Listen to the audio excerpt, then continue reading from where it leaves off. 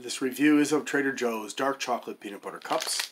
this is a Power of Products. It's safe for Jews and Muslims. And it does have dairy in it. Hooray, hooray. Destroying the planet just for dairy products and meat. Alright, I won't rant, I promise. Okay. So as you can see, it's a pretty dark chocolate. Now, the darkness does not actually reflect the quality of the chocolate. It could be that this is been processed with alkali or Dutch chocolate, which means that it's kind of inferior in terms of nutritional facts. Um,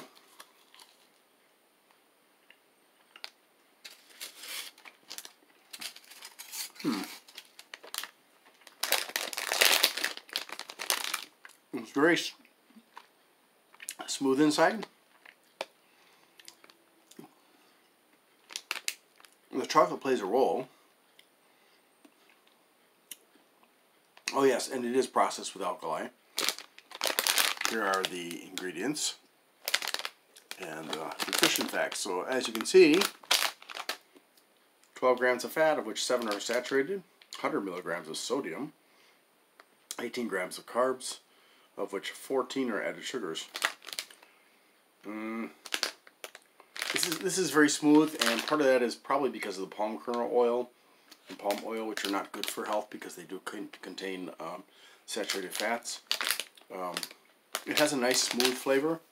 Um, so if you're looking for a, um, peanut butter flavor, but not as strong and not um, not gritty, um, not coarse at all, this is very very smooth. And of course, it has that dark chocolate flavor, but they did kind of ruin it by putting milk fat in there. I just can't seem to win, can I? Alright, well, well, I'll give it a 6. Thanks for watching, and I hope you have a great day.